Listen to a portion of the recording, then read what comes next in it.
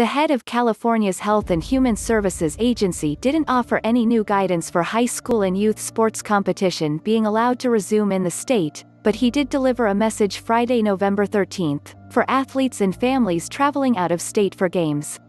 California joined forces with Washington and Oregon on Friday to urge against travel and to recommend visitors or those returning home from travel outside these states to self-quarantine for 14 days to slow the spread of the coronavirus. The advisory comes as many youth and club teams in California are traveling out of state for games, which have been prohibited in the state since August 3. If a family is going to take the risk and travel out of state to compete or practice for a youth sport or any sport, we're asking them, first off, not to do that, to make the decision to stay local, stay home, Health and Human Services Secretary Dr. Mark Ghaly said Friday during a media briefing about the coronavirus pandemic. If you make that decision, we do urge you, urge anyone around you who made the same choice, to quarantine for 14 days upon return, so we make sure that the decision that you've made doesn't impact the broader part of your community and the state overall.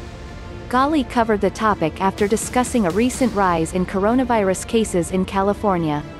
He also again addressed the anticipated new guidelines for allowing competition for high school and youth sports. Ghaly again said new updates on competition will be coming soon, echoing his message from Tuesday, November 10th. At that time, he said a county's standing in the state COVID-19 tier system could determine what type of competition is allowed.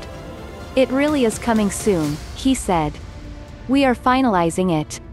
Lots of conversations with stakeholders who care deeply about this guidance, making sure that we're following the science, understanding what is possible here in California, respecting the fact that we're seeing a surge in cases and knowing that the timing with this is important in everything.